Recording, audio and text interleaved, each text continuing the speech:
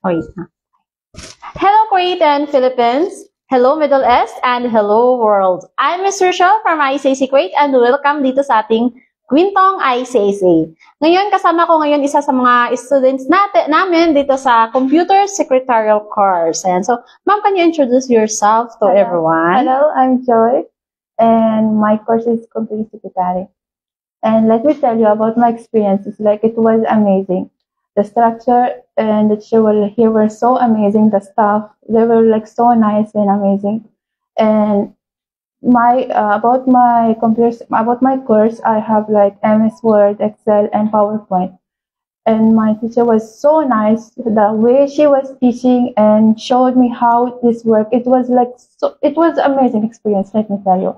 Like MS Word, my teacher showed me how to do documents and how to type, and my typing skill went to another level. Like I was like slow typer. Now I was like typing so fast and and Yes. and especially Excel. People think it's like hard because it's about account and math, mathematics, and form- uh, formulas and like, yeah. Yes. But the way my teacher taught me and the way she showed, it like made it way easier than I thought. Like she made it so easy for me to learn and all.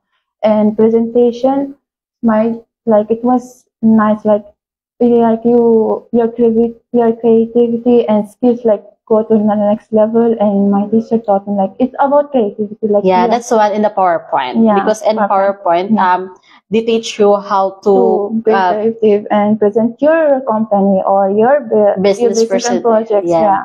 and then advertisements. Advertisement and like it's just like you're being creative with your work and all. Yeah, because here in computer secretarial, they will teach you from basic to professional Mm, level. yes, so, yeah, so maganda to for um, every um, kababayan natin na they want to um, enhance their computer skills, Mhm. lalo na if um, they look forward Yeah. na magtrabaho sa opisina, Mhm. like if they want to work like as um, office staff, admin staff, office secretary. Yeah. Yeah, so yun yung mga opportunity, like receptionist, yun yung mga opportunity Yeah. na pwedeng pagtrabahoan once na kayo ay matapos na sa computer secretarial course or kayo ay meron ng skills sa paggamit ng computer.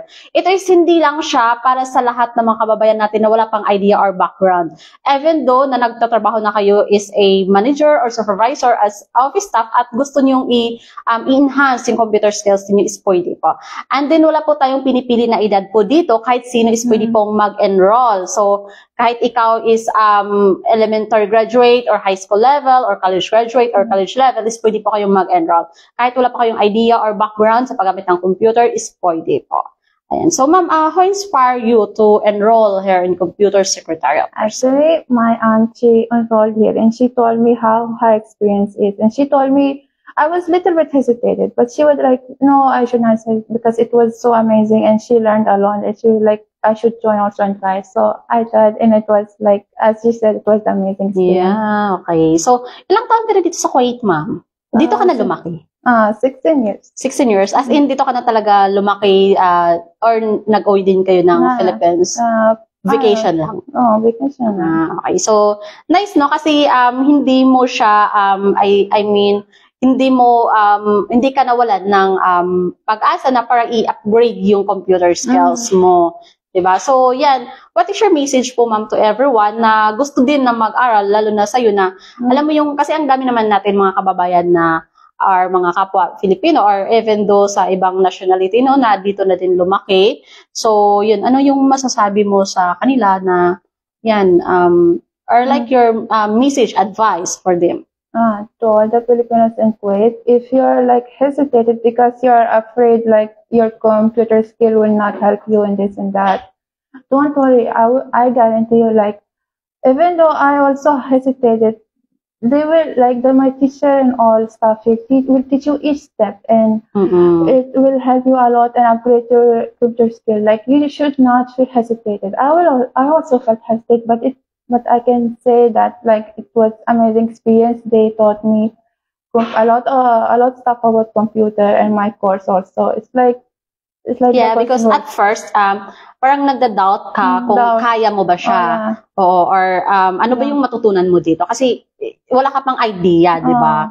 So, and then, um, ah, magiging ano siya sa'yo kasi mag adjust ka. So, like, um, nag-hesitate ka kung itutuloy ko ba yung pag-enroll. Pero once na magiging students ka na, makapag-start ka na sa Mm. yeah, course, you'll yeah. So, comfortable and you will be more like professional with the course and all. Yeah, you'll feel more comfortable when you do typing and all because you already took a course and by professionals and all. You'll be Yes, you're upgrading your skills.